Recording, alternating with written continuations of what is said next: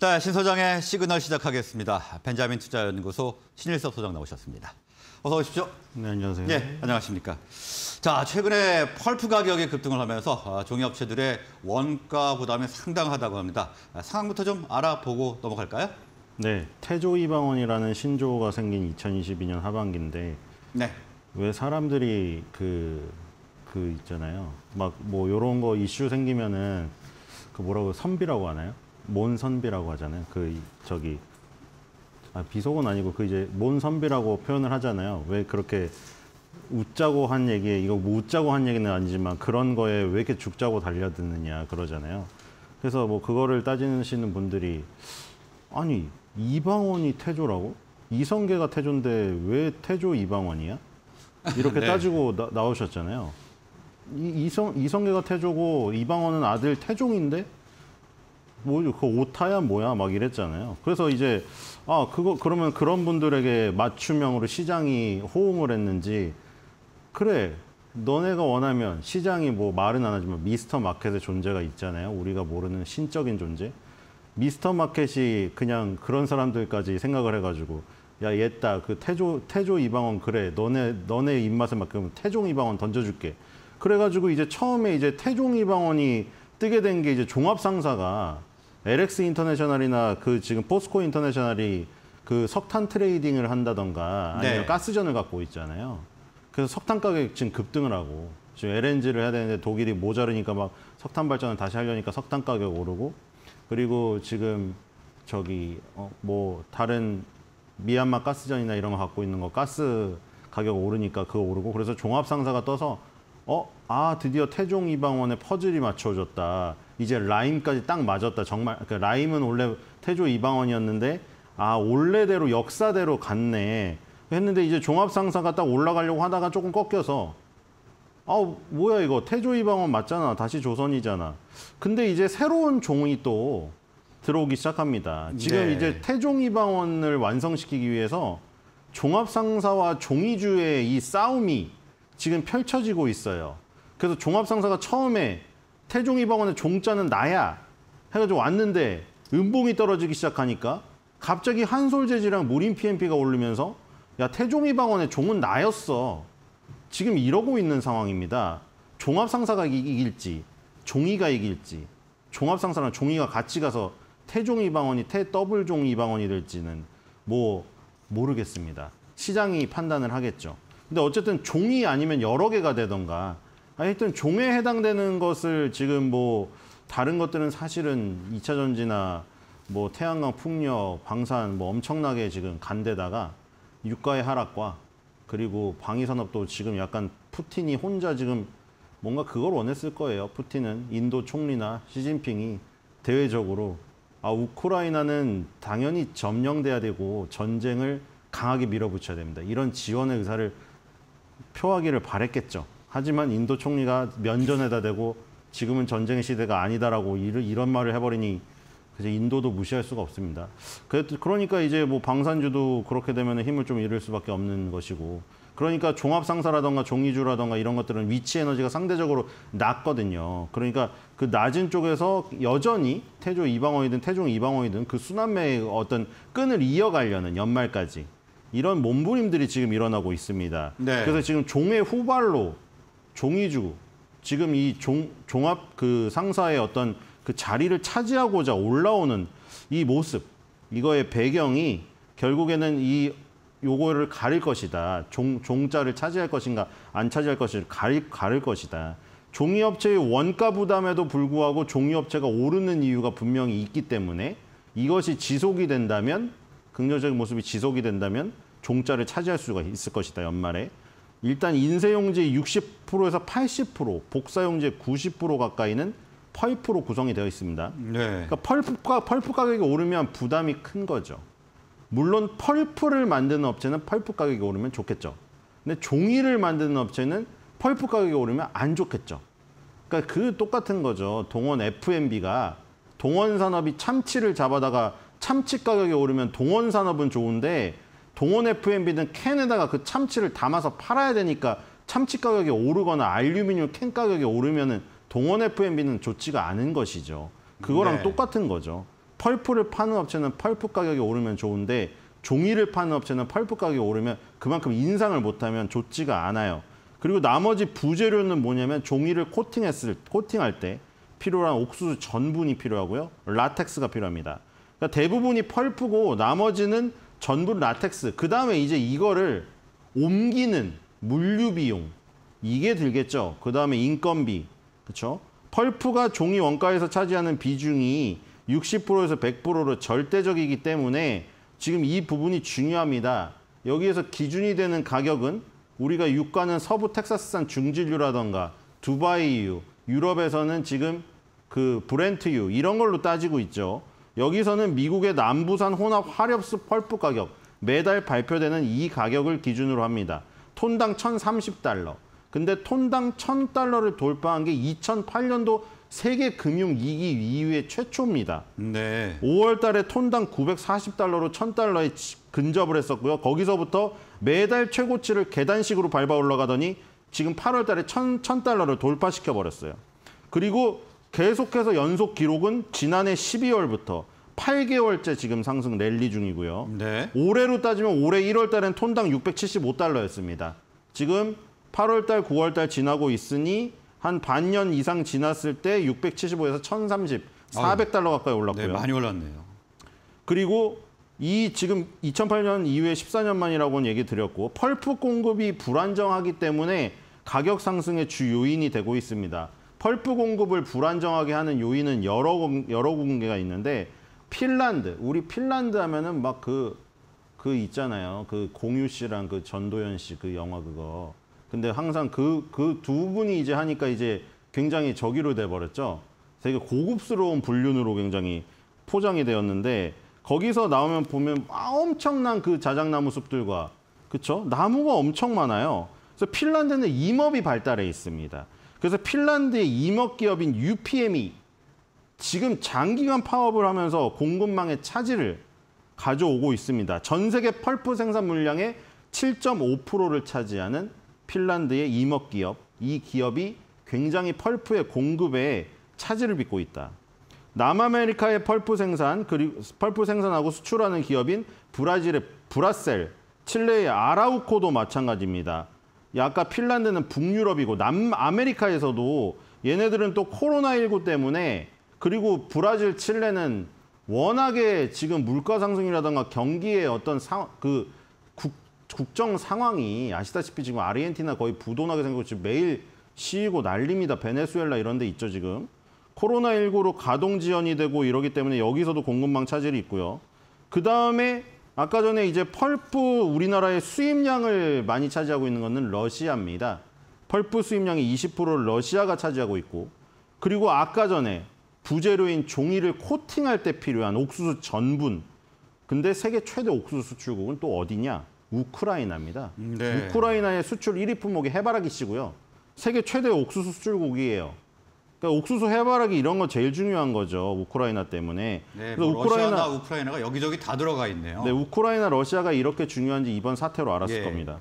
이 우크라이나는 맨날 무슨 우크라이나 뭐 미년이 세브첸코밖에 몰랐는데 이런 걸 알게 됐죠. 네. 우크라이나 러시아 전쟁으로 펄프 및 전분 공급 중단됐고요. 거기다가 서부 캐나다에 갑자기 느닷없이 지금 기상 이변이 마구 전 세계에서 일어나고 있어요. 캐나다에서 느닷없이 비도 잘 안 오는 곳에 대홍수가 나가지고 철도가 다 잠겨버렸어요. 그래서 이것 때문에 철도 운송 중단된 부분 때문에 여- 이 부분에서 물류가 막혀 있고 그러니까 이런 부분 때문에 전 세계적으로 펄프 공급에 차질을 빚는 요소들이 곳곳에 있어가지고 지금 펄프 가격의 상승이 지금 큽니다. 그럼 아까 전에 펄프가 결국에 종이 원가에서 차지하는 비중이 60%에서 100%니까 절대적이니까 복사용지는 거의 절대적이죠. 인쇄용지는 60%, 80%고 펄프 가격이 오르는 건 지금 말했고 아까 전분 가격 오르는 것도 말했고 네. 그 다음에 그러면은 나머지는 또 뭐느냐? 고지 폐지죠. 재생 펄프, 재생 펄프 가격도 상승세예요. 연초 대비해서 국내 고지 가격이 15% 가까이 상승했고요. 근데 중요한 거는 우리나라의 아직 고지 고지의 질 자체가 우리나라 고지가 고지의 질이 딸려요. 그렇기 때문에 수입해서 씁니다 보통. 그 수입 고지가 더 중요한데 아까 연초 대비 국내 고지 가격이 15% 가까이 상승했다고 했는데 수입 고지 가격은 2021년 평균 가격 대비 30% 이상 급등했습니다. 그러니까 지금 펄프 가격, 재생 펄프 가격, 그다음에 전분 가격, 그다음에 또 하나 뭐 했어요? 라텍스. 라텍스도 연초 대비 20% 이상 급등했어요. 코팅할 때 쓰는 게 라텍스 전분 이런 거거든요. 그다음에 그럼 아까 또뭐 있죠? 물류. 물류비는 또 어떻게 됐습니까, 지금? 아직도 주유소 가보면은 거의 경유차의 배신이라고 할 정도죠. 네. 자동차 딜러분들한테 살 때 경유차 이거 저기 휘발유보다 싸니까 지금 사실 때는 비싼데 한 3년이면 요거 뽕 뽑습니다. 이러잖아요. 근데 지금 경유차 산 사람들 어떻게 됐어요? 휘발유를 역전했잖아요. 옛날에 경유가 휘발유의 반 가격일 때도 있었잖아요. 네. 지금 화물 트럭 기사님들 난리가 났죠. 그 경유 가격이 올라가니까 이 고, 고집 재생 펄프니 펄프니 이런 거 종이 다 뭘로 옮깁니까? 내륙 우리나라에서 다 트럭으로 옮기죠. 물류비가 엄청나게 상승을 해서 내륙 운송비가 증가를 해버린 상황이에요. 그러니까 지금 종이업체들은 전부 다 원 부자재부터 그리고 인건비도 최저임금 상승되니까 오르고 네. 그러니까 이런 것 부분 때문에 전반적인 요금 압박을 받고 있, 원가 압박을 받고 있다 이렇게 보시면 되겠습니다. 네, 전 부분에서 뭐 오르기 때문에 지금 아, 공급망 차질이 빚어지면서 펄프 가격이 상승을 하고 있습니다. 자, 이러면서 어, 제지업체들이 가격을 좀 인상하고 있죠. 지금 한 세 번씩 인상한 것 같던데요. 네, 아까 말한 대로 펄프, 재생 펄프, 라텍스, 전분 그리고 물류비, 인건비 다 올랐는데 만약 이거를 인상을 못 시킨다? 그러면은 완전 실적 엉망진창에다가 주가는 완전 폭락을 하겠죠. 그러면 이제 태종 이방원의 종합상사와 자리를 차지하려고 자웅을 겨룰 수도 없겠죠. 그러면은 왜 지금 주가가 올랐을까? 그걸 반영을 했기 때문에 올랐겠죠. 지금 한솔재질을 비롯해서 제지업체들 인쇄용지입니다. 인쇄용지랑 산업용지 크게 나눠지는데 지금 사실 둘 다 좋지 않은 건 마찬가지였어요. 코로나 때. 생각을 해보세요. 코로나 때 집에 있는데 누가 그 술집도 못 가게 하고 9시 에 막아버리는데 누가 유흥가를 가서 어? 그 도- 돌아다니며 그럼 유흥가에서 그 전단지 나눠주는 아주머니들이 있죠. 그럼 전단지 인쇄지 인쇄업소에서 안 찍을 것이고 학교에 나가갖고 뭐 통신문 받아야 되는데 집에 앉아 있어가지고 통신문 다 카톡으로 날리고 있는데 종이가 필요가 없는 상황이죠. 그러니까 코로나19 때 굉장히 어려웠단 말이죠. 그래서 이제 조금 풀려가지고 경기 풀려가지고 외식업체 다니니까 외식업체 전단지 뿌리고 유흥업계 전단지 뿌리고 학교 가니까 통신문 받고 이러려고 했더니 아까 원가 부담이 딱 도사리고 있는 거예요. 네. 그러다 보니 올릴 수밖에 없는 상황이었죠. 그래서 올렸습니다. 올해 1월달, 5월달 그리고 9월달 지금 최근에 가장 최근에 한솔제지가 9월 8일부터 또 올렸어요. 그래서 1월, 5월, 9월 세 차례 인상이 됐는데 1월 달에는 기준가 대비 7%, 5월 달에는 기준가 대비 15%, 9월 달 출고분에서는 기준가 대비를 올린 게 아니라 그 받아가는 업체 종이 한솔제지의 종이를 받아가는 업체한테 할인율 7%를 깎아버렸어요. 그러니까 네. 올린 거랑 똑같은 효과가 난 거죠. 그리고 무린 PMP랑 무린 페인퍼도 인쇄용지 가격을 1월, 5월에 기준가 대비 7% 수준 비슷하게 인상을 했었고 9월 달에 한솔재지랑 마찬가지로 할인율 7% 축소로 올린 것과 같은 인상 효과를 냈다. 1월 달하고 5월 달은 인쇄용지, 산업용지 모든 제품 가격을 일제히 인상을 했고요. 연속 세 번으로 이렇게 모든 걸 인상하기는 부담스러웠는지 일단은 9월 달에는 인쇄용지에 국한돼서 인상을 했으나 1월 달, 5월 달에서 보다시피 인쇄용지 그것만 오를 수는 없죠. 다 재료가 비슷한데 결국에 인쇄용지 가격은 향후에 식품 포장 용지라던가 특수지 특수지 뭔가요? 우리 마트를 안 갔잖아요. 마트에서 시식도 금지됐는데 시식 하고 싶어서 가고 싶은 사람 많았는데 코로나 때문에 시식 안 돼서 못 갔죠. 소세지 찍어 먹고 싶었는데. 근데 이제 시식이 됐잖아요. 그럼 마트에 가면은 그 마트에 그 바코드 찍고 그 종이 영수증 나오죠. 그 가멸지 같은 게 특수지예요. 그러니까 코로나19가 지나고 마트를 많이 가니까 그게 늘어나야 되는데 이게 지금 원가 부담 때문에 안 됐으니 특수지 가격 인상으로 당연히 이어질 가능성이 개연성이 있는 것이죠. 네. 일단 뭐 세 번 인상을 했는데요. 1월과 5월에 합치면 어, 14%에서 22% 구간 정도가 됩니다. 상당히 큰 폭을 올리는 상황인데 향후에 어, 긍정적인 전망은 좀 있습니까? 네, 긍정적인 전망이 많이 있습니다. 아, 지금 네. 식품 회사가 힘듭니다. 왜냐면 식품 회사 지금 뭔 다 ESG 경영에 다 물결이 휩싸여 가지고 뭐 ESG 경영 한다고 하는데 이게 사실은 엄청나게 힘든 거예요. 뭐, 가- 뭐 종이로 한번 하나 바꾸면 되지 않나요? 종이로 하나 바꾸는 게 그러면 생산 라인을 통째로 드러내야 되는데 그게 몇 억이 되겠습니까? 몇 억이 아니죠. 수백억이 듭니다. 그게 어려운 거죠. 근데 ESG 경영을 모- 모두 대기업이 한다고 하니 따라갈 수밖에 없는 것이고 대표적으로 롯데제과랑 엔젤리너스가 협업을 해서 지금 설레임 엔젤리너스 스위트 카페라떼가 출시가 됐는데 저도 설레임을 좋아하고 엊그제도 설레임을 먹었는데 설레임 먹을 때마다 좀 짜증나는 건 있어요. 손가락이 너무나 시렸거든요. 그걸 자꾸 짜야 되는데 설레임은 그렇죠. 그 손가락이 너무 시려워요. 그래서 이게 그리고 좀 작아지지 않았던가요? 작아진 거는 모르겠고요. 플라스틱 재질이 설레임 포장지, 포장재가 플라스틱 재질로 돼 있어서 그랬던 건데 이거를 크라프트지로 바꿨어요. 크라프트지는 그 공법 중에 하나인데 크라프트지로 바꾸면 어쨌든 종이 재질이 들어간다는 거거든요. 그러면 무슨 효과가 있냐면 아까 ESG 경영 플라스틱을 줄여야 되잖아요. 지금 플라스틱을 어떻게든 줄이고 뭐 물고기 몸이나 우리 몸에 결국에 뭐 미세 플라스틱이 쌓여갖고 나중에 죽는다며요. 그러니까 플라스틱 줄여야 되니까 종이로 바꾸고 빨대도 다 종이로 바꾸고 있잖아요. 그 새 포장지를 사용했 하면은 플라스틱 사용량이 23% 저감된대요. 그리고 아까 말한 결정적인 이유. 제품 먹을 때 손시림이 개선, 개선된다. 크라프트지로 바꾸니까. 그게 있고 해태제과는 더 심각합니다. 10월 달 다음 달부터죠. 홈런볼 제품. 저는 사실 지금 컵으로 된 걸 먹고 있는데 홈런볼 부터 네모롭게 된 거 플라스틱 트레이에 들어있죠. 그래서 이게 소비자 단체에서 플라스틱 없애라 홈런볼 거기 몇, 몇 개가 팔리는데 그런데 홈런볼을 만약에 그 생각을 해보세요. 그 네모난 거 종이에 그냥 뜯었는데 그 홈런볼 쏟아져 나와봐요. 그러면 확, 확 짜증이 납니다. 왜냐면 홈런볼이 몇 개 들어있지도 않아요, 알이. 그 땅에 떨어뜨려봐야 얼마나 열받는가. 그래서 이제 혜태저가가 그것도 그렇지만 홈런볼은 트레이가 없으면 슈 과자가 파손돼서 그 구멍 뚫려 있죠. 초콜릿이 흘러나와서 서로 엉겨붙게 되기 때문에 트레이를 없애는 건 불가능하다. 대신에 그렇다면 우리가 이거를 종이 재질로 바꿔주겠다고 했습니다. 지금 아산에 신공장을 건립하고 있는데 450억 원을 투입했어요.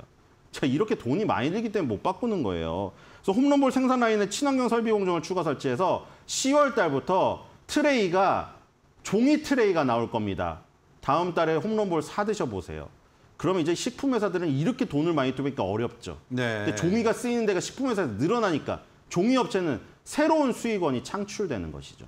네, 이래저래 좀 어려운 상황이 지속이 되고 있는데요.